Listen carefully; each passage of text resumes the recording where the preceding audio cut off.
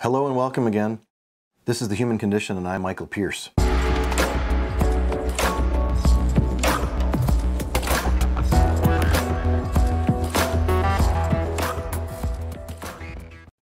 The uh, section we're doing today is Chapter 9 Clinical Correlation of the course uh, EEG and ERP for complementary alternative and functional medicine practitioners, their patients, and their technicians. When we do clinical correlation, we are correlating complementary and alternative medicine. And so that means that we have to really look at um, everything, including the lifestyle, the family history, the dynamics in the family. We have to look at the counseling that may be going on, we have to look at the financial history of the family and the patient. We have to look at the workup that's been done, prior workup, prior imaging, like x-rays or MRIs or dental scans, uh, dental x-rays. We have to look at blood labs and other labs like urine, fecal tests, saliva tests. There may be uh, gene tests like SNPs, single nucleotide polymorphisms, uh, mutations. So we really need to, to do a complete correlation with everything and I think the most important part is to correlate with other practitioners. What I like to do is sit down with the, the practitioners and say, okay, given the entire case, what do you think is most important, given that you represent one discipline and you're sitting around the table with other doctors like a dentist, an acupuncturist, a chiropractor, a functional neurologist, a psychologist, a psychiatrist, and a nurse practitioner. Maybe even a gynecologist or a physical therapist might be there, or an, or an occupational therapist, all of which I've worked with.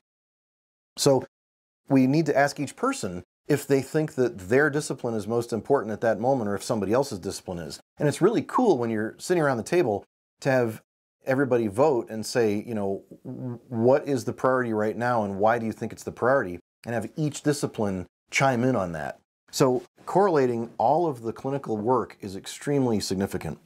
Now, one of the things that I've been asked a lot is what are the conditions that respond to brainwave measurement and brainwave training? versus, um, say, functional neurology rehab. So with functional neurology exam and rehab, these are the patients that are typically a little more nuts and bolts pathway, meaning a lot more physical manifestations. They are the patients, the patients that need a chiropractic neurology exam and customized neuro rehab exercises are problems that are a little bit more physical in nature. They might be double vision, nausea, vomiting, falling, vertigo, dizziness, lightheadedness, uh, stumbling, tripping, crashing into things, lack of coordination, weakness, numbness, paresthesia, which is a false feeling. Um, it might involve headaches. It might involve dysautonomia, where they, they notice that they get suddenly cold or hot or sweaty in different parts of their body, or, or asymmetric sweat, one side versus the other. They might notice weakness of their face, or, or maybe stroke like symptoms, or pseudo stroke. They might notice things like gout or pseudo gout. So, all these different problems might involve a little bit slightly more physical symptoms, although they can be brain and nerve related.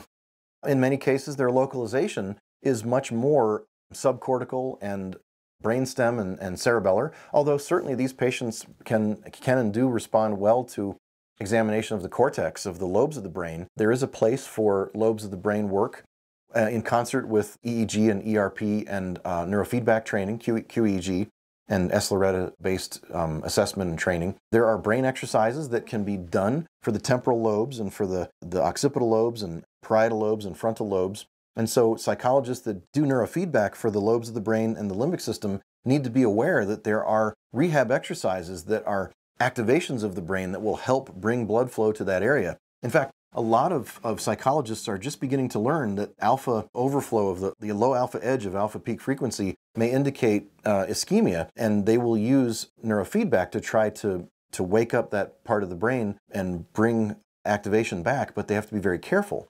Now, functional neurologists are trained, chiropractic neurologists are trained to do just that. They're trained to identify the fatigability of a certain brain region and tune into that Goldilocks region of enough activation versus not enough activation to make there be the right amount of stimulus to that brain region and to test it, not only the brain region directly for what you're working on, but the autonomic support and the vascular watershed, if you will, the blood supply of that area too, to look for dysautonomia in that area of the brain or of the brain stem or the cerebellum or the face or, or the, the arm or the leg. So it's, it's really important to work together and understand that. Now, conversely, the question might be, well, what are the types of things that respond more to brainwave measurement and QEEG and neurofeedback and sLORETA and infraslow fluctuation.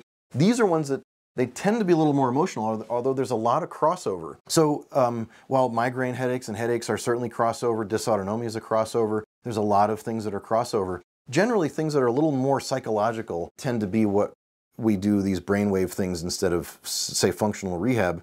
Although we'll still do both on a lot of them. Depression, anxiety, bipolar, schizophrenia, personality disorders, individuals who have oppositional defiant disorder, autism spectrum disorders, and dyslexia, the neurobehavioral disorders of childhood. All of these systems can benefit from both functional neurology rehab and from brainwave neurofeedback training.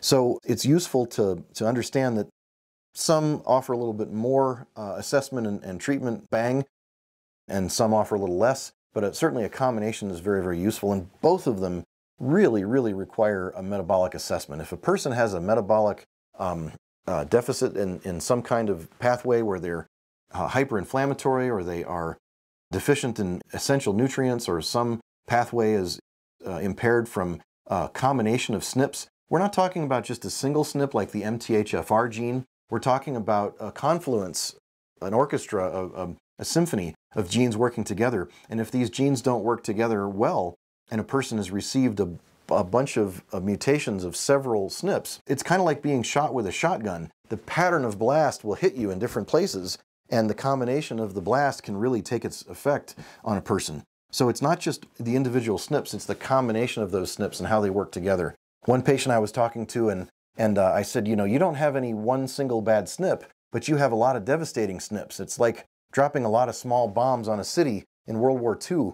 They were able to, you know, different, both sides of, of the war were able to drop bombs in strategic places and really bring a city to a halt without having an atomic bomb. They had, you know, relatively small bombs that they could use to take out, you know, factories, they could take out bridges, they could take out train railways.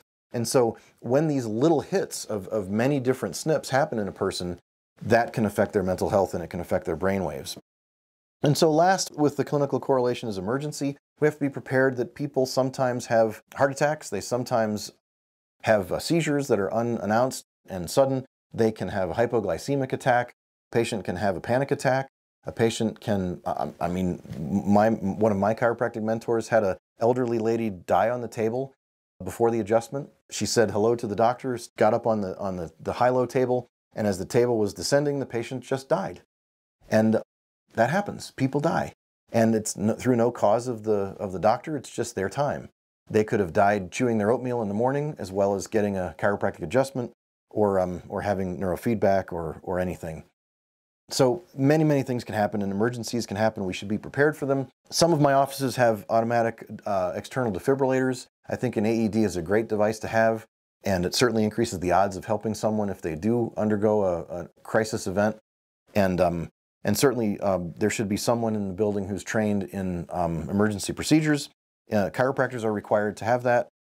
I don't know the requirements for psychologists, but it's nice if you're a psychologist to work again I'm, I'm advocating this, this coherence of, of psychologists and counselors and social workers and marriage and family counselors working together with doctors that are licensed to diagnose the human body, examine the human body, touch the human body, and measure the blood and the saliva and the urine and, and do those physical medicine things. I think it's really useful. Certainly medical doctors can be involved in that realm, and you don't need a crash cart necessarily for a holistic clinic, but it's nice to have a defibrillator.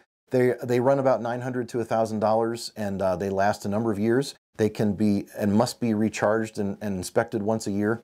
And so um, that is the end of chapter nine, clinical correlation.